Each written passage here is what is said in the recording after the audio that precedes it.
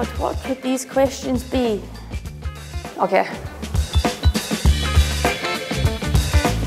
You know what? I'm going to be a horse, just so I can gallop about a field all day. No one's in charge of me, really. And just live my best life in the field, yeah.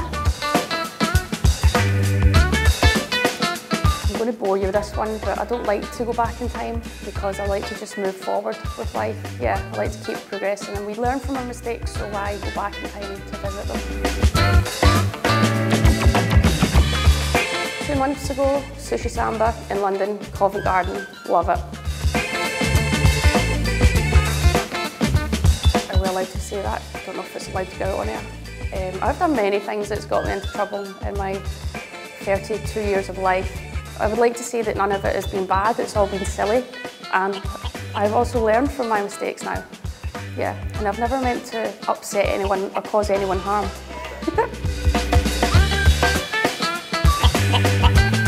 boxing, I think boxing because I can be quite aggressive.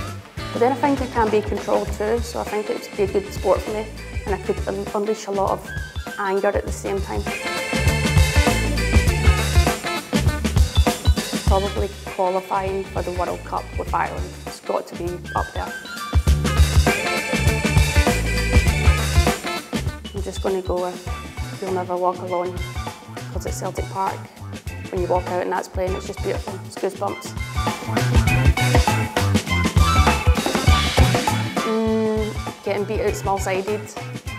Um, getting beat at football.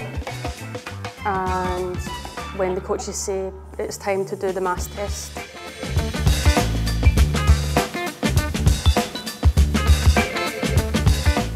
I want to go to Rio de Janeiro and play football on the beach.